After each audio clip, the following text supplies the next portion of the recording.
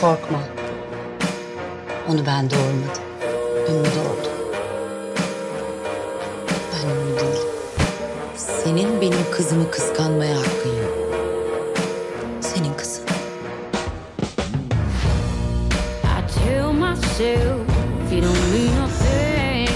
Hava alır geçer. Teyzem, there, Seni evimde istemiyorum. Seni çok özleyeceğim teyze. Kendine gel.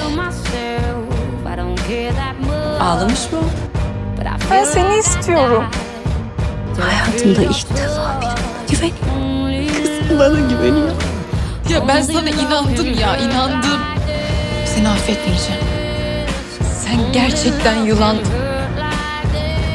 Karşımda bir hayal kırıklığı var.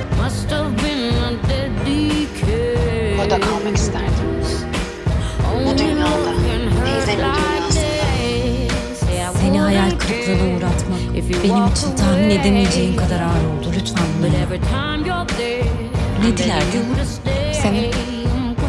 come Mutlu yaşlar. Kadın. Bana sırtını dönüyor diye zevkten dört köşe olduğunu itiraf et. Kız bir gecede bana karşı doldu. Neden yaptın bunu bana?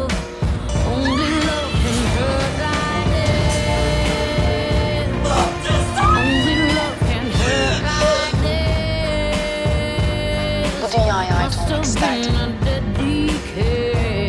Ailesinin bir parçası yapmasını isterdim. love can hurt like this. Uyanmak istemediğim bir rüya gibi. Can hurt like Sözler biraz hayranlık kokuyor gibi. Tabii ki kim hayran olmaz ki teyzeme. Ben de teyzem gibi olmak isterdim. Asla bir savaşçı olmayacak. Ben senin kadar savaşçı olduğum için yaptım. But sweet Nesinin kızı? Ne? Dilin suçtu herhalde yani teyzesinin kızı diyecek. Benim için sadece Umay Karay değil. Sen benim teyzemsin.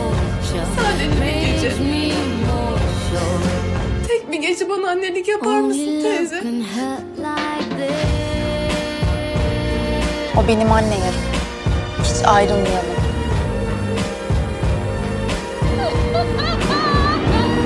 Sana hiçbir zaman anne demeyecek. Kocaman, mutlu, gerçek bir aile olmak isterdim.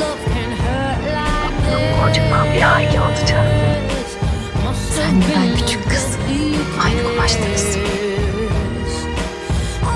Ben kızımın yanındayım. Kızlarım annelerinin koynunda. Ait oldukları yerde kardeş oluyorlar. Annem benim anne yarım. Seviyor. Benden. Beni sevmesini isterdim. Teyzem beni seviyor. Duvarın üzerinde hayalimdeki gibiyiz. Sarmaş dolaş bir aile.